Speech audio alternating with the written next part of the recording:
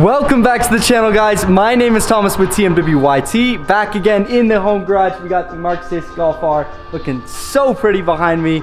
Today, I'm gonna be showing you how I made my custom side skirt extensions out of a material called CompBond. It's a really cheap material, really affordable, and super easy to work with. I picked up my sheet for only 100 bucks. I think it was like 106 with, you know, tax and everything, but 100 bucks side skirts. You even have enough to make a chassis mounted front splitter if you wanted to, and even a rear diffuser. So out of the entire sheet, you can make a whole aero package for your car. You could even, you know, fit them up and make them into canards. But today I'm gonna be showing you how I made my custom side skirt extensions for my specific, you know, wider Mark 6 Golf R. But what's fun about doing custom work is you can kind of do it to your own spec. So if you see my design here, I kind of have it jut out up in the front to match the front wheel.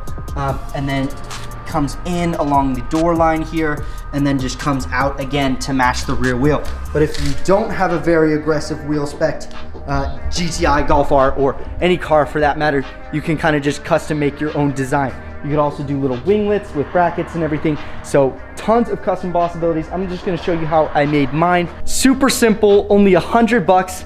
So we're just gonna go blast in the past real quick to about two o'clock in the morning, the night before Gearhead Society about a week ago. So that's how you'll, you'll kind of notice that I'm not my normal self. I've been working for about three days on the car trying to get ready for the show.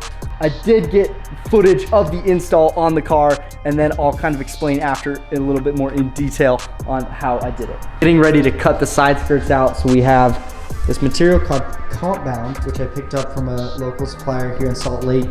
It's got two aluminum sheets, very, very thin, sandwiched. In between is a plastic sheet. So very strong, super cool material, easy to cut. So we're making custom side skirts. As you can see, Jordan already cut out his front lip. Right now we're just mocking up designs for my side skirt. So if you can see this purple line we have just traced on here. So we wanted it to match the front lip and then match how far the rear wheel came out. So we have this design traced up 12 inches right there with a one inch drop and then it goes all the way down to the back and then we have 16 inch um, and then a four inch angle right here and then these flaps right here we're going to try to bend. So we're going to try to bend this part of the panel up so they're like little gurney flaps.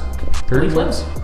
What? Winglets winglets ooh. Winglets yeah so, and if, if that doesn't end up working, we can just trim that off. But this is a pretty simple side skirt design we have. Um, it'll just make my car look less like it has a chin strap. Super simple. Super simple. Super simple. So we're gonna cut this one out.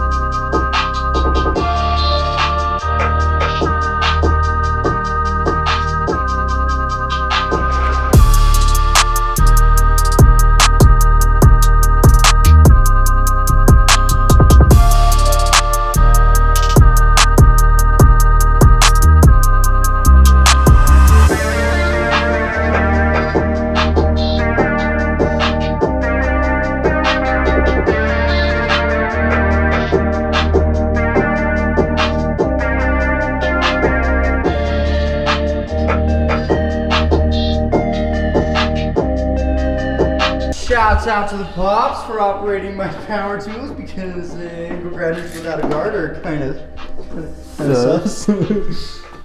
He's old, so he doesn't care if he loses his hand. You did a great job, Rob. Great job, Rob. I was impressed. Rob, great job. Like, wow. Dude, He's just gonna he's just gonna mount it up. Bending this piece here, a little gurney flap. You set the piece on a piece of wood, and you can kind of see what we're doing here. Piece of wood on the bottom, piece of wood up here, piece of wood right there, getting a nice bend.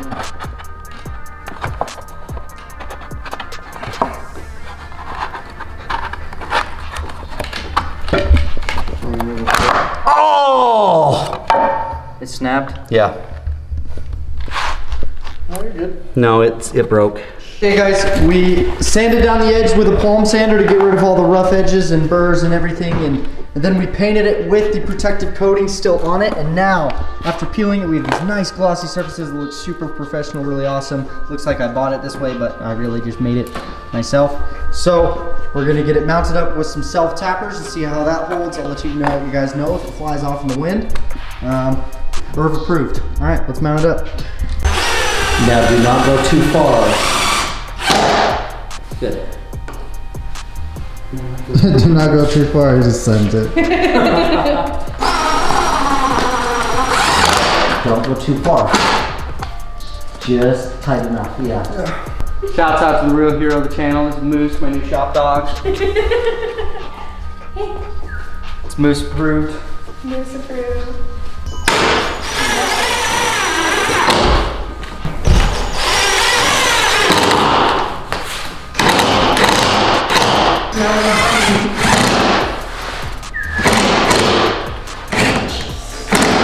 Your battery's about to die. Yo, this jack ain't even on, bro. What the heck? I was, Three wheel for days, man. I was in the back of the car. Big yikes. Back. Big yikes.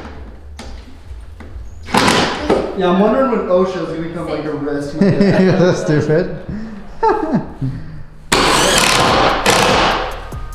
Nice. Probably That's hanging really out with nice. us for a little longer. here. Chassis mount or what? Well, I'm gonna do one more up here. Self tap. Oh, let me just put my jack back under my car. oh, sick. It's like the ATM scene from. That's Breaking ain't all Bad. that. Yo, that's fire, bro. Okay, I kind of like how like you can barely see it. Duh. Told you. I hate these guys.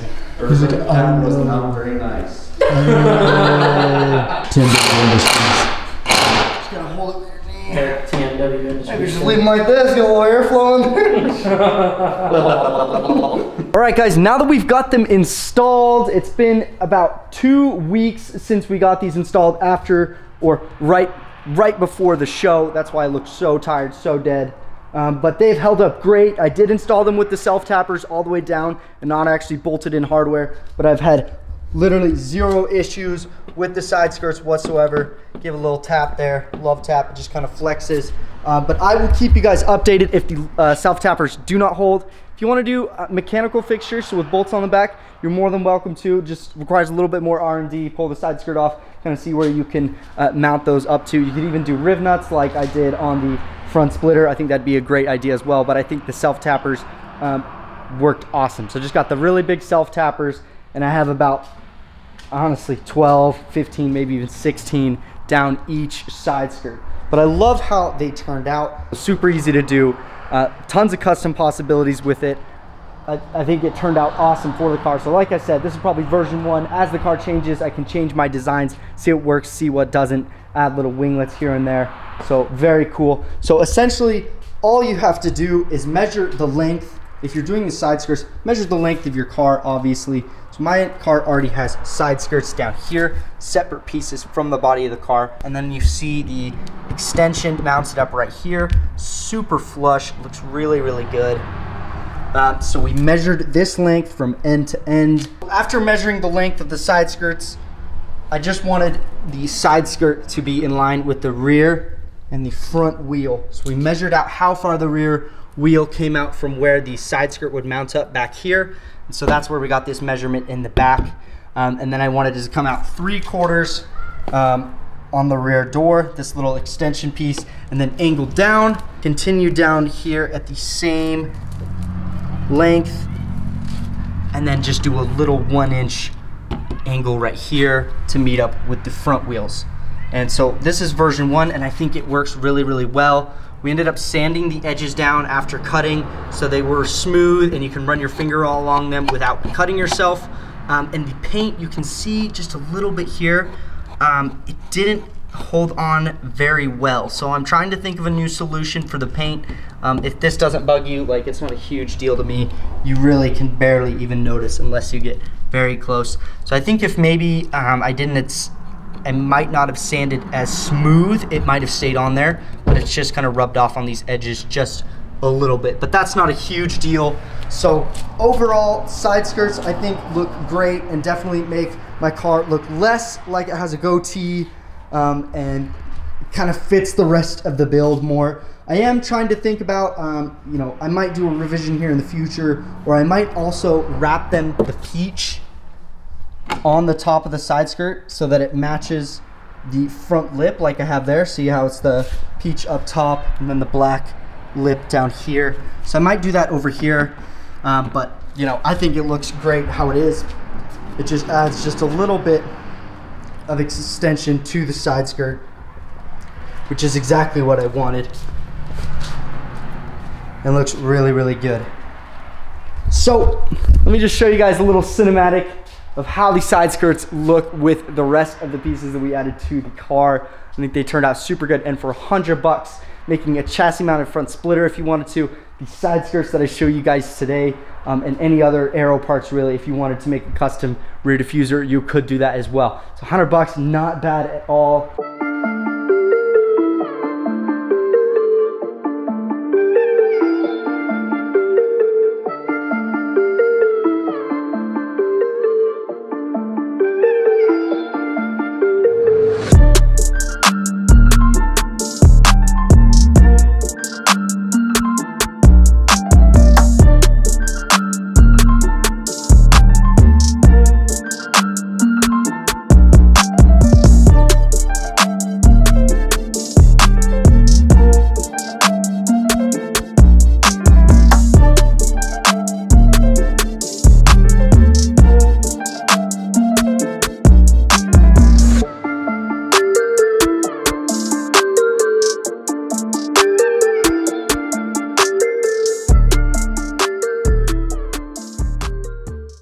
So if you're done paying ridiculous prices for front lips and uh, side skirts extensions only to have them crack because you're riding too low or something like that, they just get damaged.